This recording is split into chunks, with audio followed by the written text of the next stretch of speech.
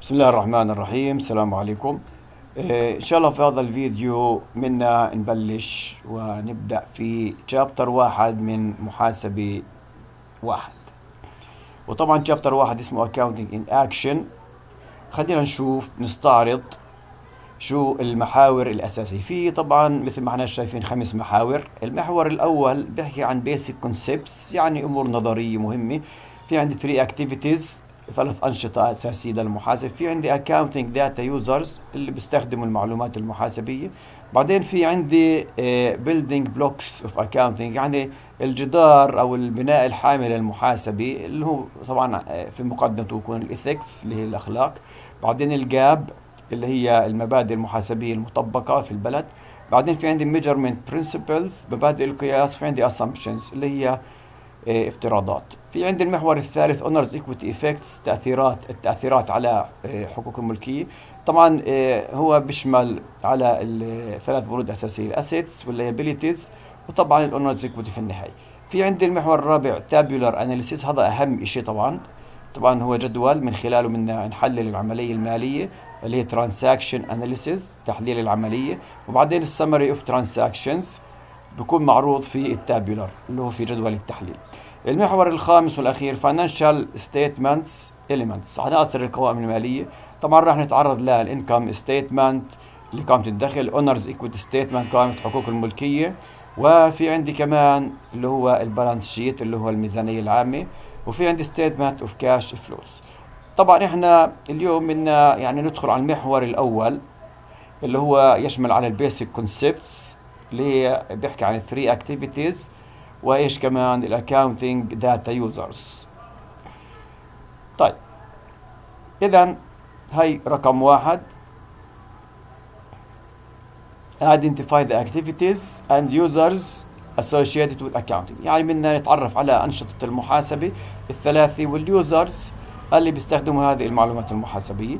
طبعا هذا الكتاب بيحكي لك هيك مقدمة عن الشركات. In short to understand your organization you have to know the numbers. حتى إنك تفهم يعني المؤسسة اللي أنت مستثمر فيها لازم يعني تعرف الأرقام. شو معنات الأرقام؟ وطبعا المحاسب هو بيتعامل مع أرقام.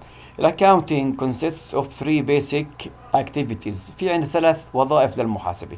It identifies يعني تعرف وتحدد records تسجل and communicates توصل. الايش the economic events اللي هي الاحداث الاقتصادية وليس غير الأحداث الاقتصادية of an organization to interested users إلى المستخدمين المهتمين بهذه المعلومات let's take a closer look الآن بدنا نيجي على هذه الثري activities ونشوف يعني إيه شيء من التفصيل عليها as a starting point to the accounting process أول شيء a company identifies the economic events relevant to its business يعني لازم المؤسسة تحدد المعاملات الاقتصادية اللي بتخص مشروعها. أما المعاملات غير الاقتصادية المحاسب ما لها علاقة فيها. يعني examples على ال economic events شو يعني أعمال اقتصادية أو تجارية ممكن تصير في المحل؟ مثلا هنا معطيني مثلا sales مثلا في عندي مبيعات هنا بقول مثلا sale of snack chips by اللي هو PepsiCo مثلا في عندي provision of cell phone service مثلا مخصص لخدمات التلفون من قبل هذه الشركة. مثلا في عندي payment of wages مثلا مدفوعات رواتب. كل هذه تعتبر economic event طبعا لقدام إحنا إن شاء الله لما نيجي على هذه الخطوة راح نأخذ أمثلة أكثر وتطبيق عملي حتى نتعلم كيف إحنا نعمل identification لل business transaction أو لل economic event إيش؟ economic event عفوا. الآن once a company يعني إنها تحدد ال economic event طبعا مثل ما حكينا يعني بيتم التسجيل بعد ما إنه إحنا نحدد ال economic events طبعا in order to provide a history, of its financial activities طبعا هذا التسجيل يعني يعطي تسجيل تاريخي للأنشطة الاقتصادية. إيه طبعا على شكل systematic شيء منظم chronological diary of events. يعني شكل منظم بشكل تاريخي للأحداث اللي صارت. طبعا measured in dollar لأنه ال economic event من أهم يعني الأمور اللي بتميزها إنه يمكن إيه تقييمها بالنقد يعني واحد بقول لك إحنا بعنا بضاعة. أكيد في لها قيمة نقدية. يعني بعنا ب 1000 بعنا ب 2000 بعنا ب 3000 يعني مثلا بقول لي دفعنا رواتب. أكيد إنه في لها قيمة نقدية. يعني هذه الأمور اللي تقيم بالنقد ال recording okay. finally آخر وظيفة اللي communication طبعا المؤسسة communicates the collected information يعني بتوصل وبتعطي المعلومات اللي جمعتها لمين؟ لل users ال interested users اللي هم الناس اللي بيهتموا فال accounting إيش؟ reports من خلال طبعا اللي هو التقارير المحاسبية. طيب الآن أهم جزء في ال accounting reports هو ال financial statements اللي هي القوائم المالية. القوائم إيش؟ المالية. طيب أنا بعطيني هنا شوية أمثلة. طبعا هنا بعطيني شغلة إنه ال such data اللي هي في ال financial statements such data البيانات هنا are said to be reported in the aggregate. يعني بشكل تجميعي. بشكل إيش؟ تجميعي. وليس بشكل تفصيلي. يعني مثلا ممكن مثلا عندي كافيتيريا بتبيع في اليوم مثلا يمكن 200 مرة ولا 300 مرة. الآن إحنا خلص يعني بنيجي آخر السنة وبنجمع مجموع المبيعات. هي اجريجيشن عم نسميه تجميع. مجموع المبيعات بنقول قديش بعنا خلال السنة؟ مثلا بعنا ب 50000 شيكل. خلص بنحط مبيعات 50000 شيكل. ما بنحط والله بعنا يعني في اليوم هذا بعنا ب 100 وهذا اليوم الثاني بعنا 200 لا هذا في ال financial reports ما بنحطش التفصيلات هذه كلياتها. اذا على إيش؟ aggregation basis على أساس تجميعي بيتم عرض البيانات. طيب الآن إيه وظيفة ال communication هذه إيه تشمل is the accountant's ability to analyze events إيه تشمل أيضا عن ال analyze وال interpret يعني أيضا بده ال communication عشان يكون مفيد لل users لازم المحاسب يحلل ويفسر. هذه الأرقام الموجودة في ال financial إيش reports طبعا بالنسبة لل analysis involve يعني كيف إحنا بدنا نحلل؟ ممكن نستخدم اللي هو ratios اللي هو نسب و percentage percentages نسب مئوية. مثلا graphs وال charts رسومات ومخططات. to highlight significant financial trends. حتى إنه يعني نحدد ونعلم يعني الملامح الأساسية في المؤسسة والاتجاهات يعني الصاعد والهابط. ال interpretation التفسيرات تشمل على explaining explaining the uses يعني شرح الاستخدام وال meaning والمعاني وال limitations of reported data وعيوب يعني والأمور غير المفصح عنها في ال financial reports طبعا أنا بعطي illustration واحد لواحد بعطيني سمري لهذه ال activity الثلاثه هاي identification اللي هو تحديد العملية المالية أو تحديد ال economic event بعدين recording تسجيلها بعدين communication اللي هو توصيلها لمين؟ لل users وطبعا آه، في عملية ال communication بيتم عملية اللي هو analyze وال interpret اللي هو التحليل والتفسير لل users هذا illustration واحد لواحد. طيب الآن في عندي مفهوم اسمه bookkeeping bookkeeping bookkeeping بالعربي يعني مسك الدفاتر. لأن ال bookkeeping هو جزء من المحاسبة ولكن هو ما بيشمل على الأنشطة الثلاث هذول هو بس بنشط على عملية ال recording فقط اللي هو التسجيل. يعني اللي بيكون بعملية ال bookkeeping ما بيقدر يعمل اللي هو identification وما بيقدر يعمل اللي هو ال communication اللي هو التوصيل وما بيقدر يعمل analyze وما بيقدر يعمل interpret هو بس بيقدر يسجل مثل ما إحنا بنعلمه. يعني أعطيكم مثال. مثلا واحد فتح محل ممكن يحط مثلا أخوه الصغير أو أياته واحد بقول له اسمع هي في دفتر هنا.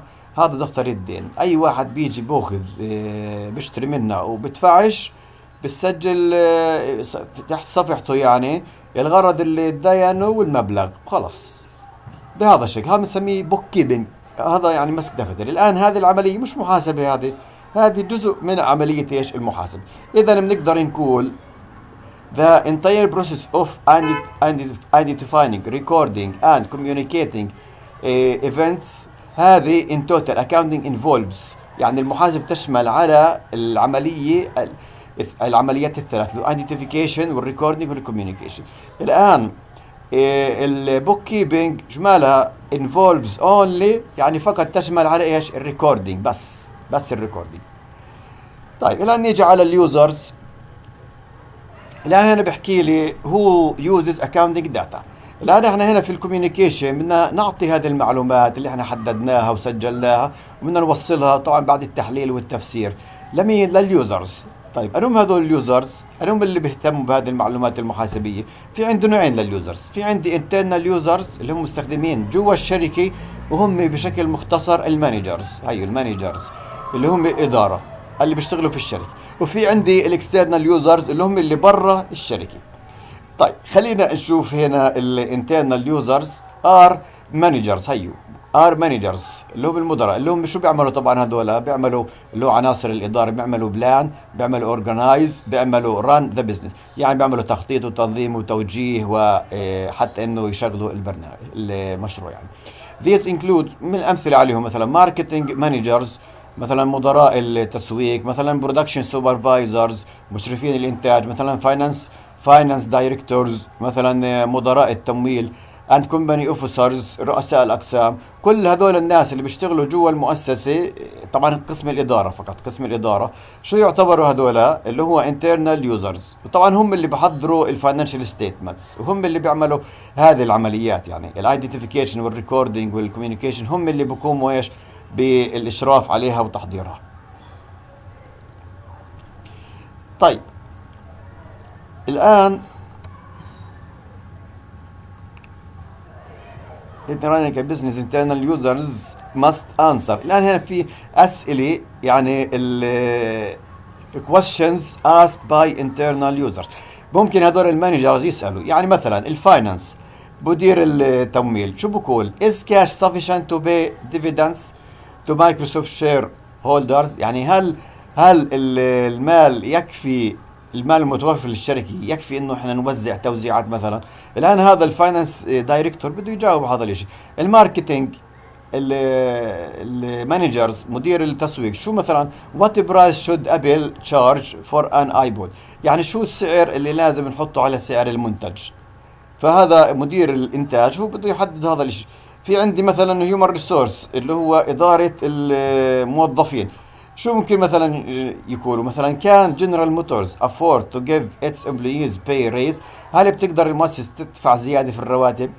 مثلا ال management ال top management بيقولوا مثلا which PepsiCo production line is the most profitable أي خط من إيه، خطوط الإنتاج للشركة مربح أكثر.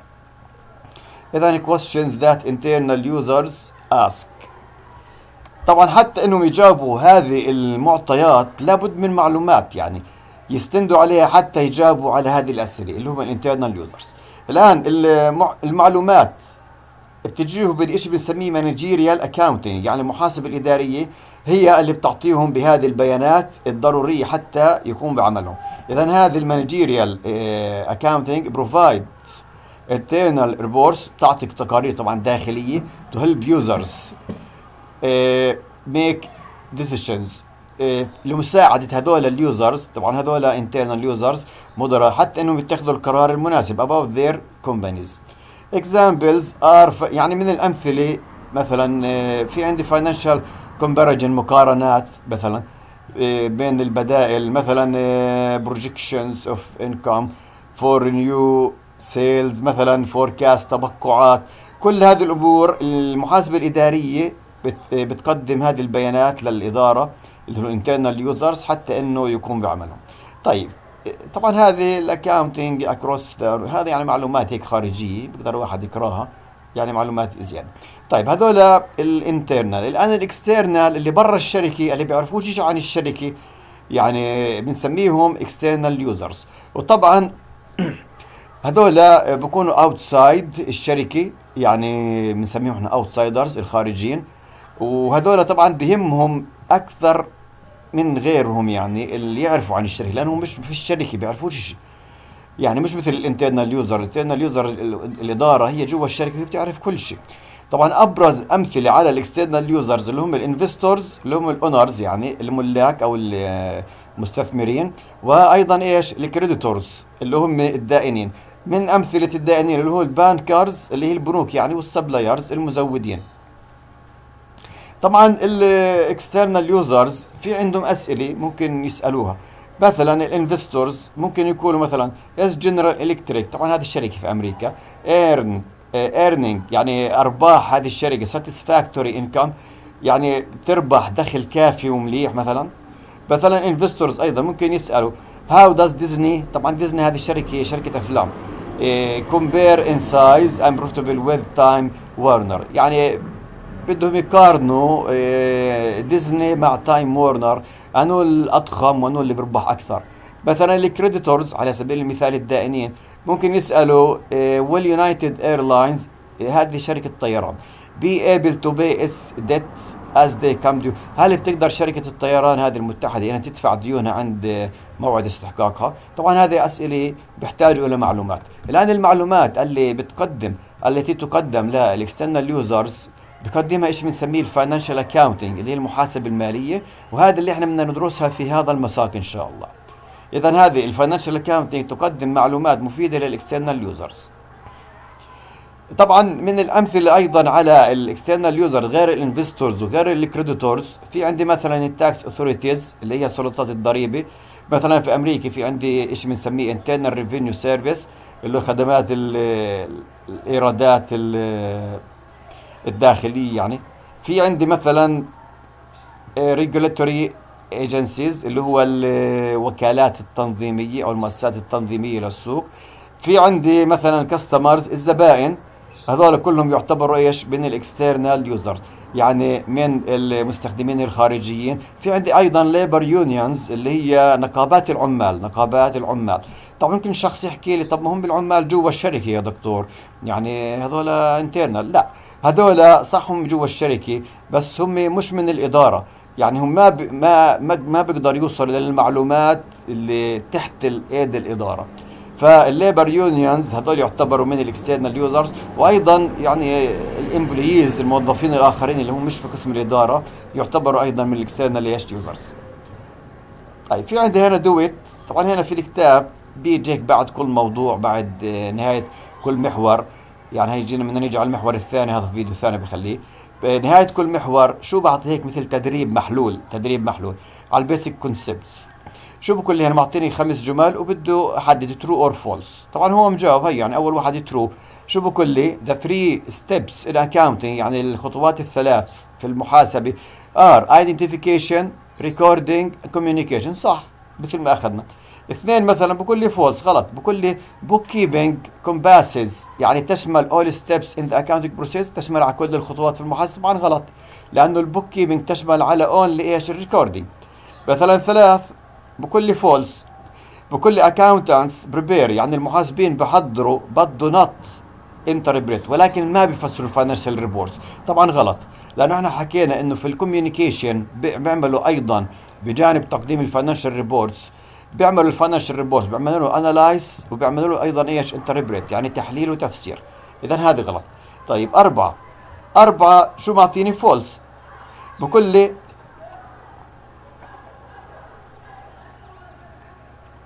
طبعا أربعة.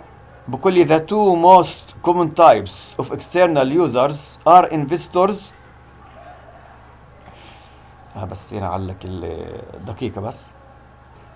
آه بقول the two the two types يعني الأمثلة المشهورة على ال external user اللي هم ال investors ال investors صح. وال company officers لا غلط. ال company officers اللي هو رؤساء الأقسام هذول من ال internal طبعا شو لازم يحط هنا عشان يصير صح؟ عندي creditors لو حط creditors بصير صح. اذا هذا غلط. خمسة. خمسة شو مجاوبها؟ true بقول managerial accounting activities focus on reports for internal users صحيح. المحاسبه الاداريه بتقدم تقارير لمين لل internal users. وطبعا هنا في عندي تمارين مثلا exercise واحد لواحد exercise واحد لاثنين وفي عندي do it واحد لواحد هذول موجودات آخر الوحدة. حبذا لو الطالب يعني يروح عليهن ويحاول إيش؟ حلهن. هيك أنا بكون خلصت المحور الأول وإن شاء الله الفيديو القادم راح نتعرض للمحور اللي بعده. السلام عليكم.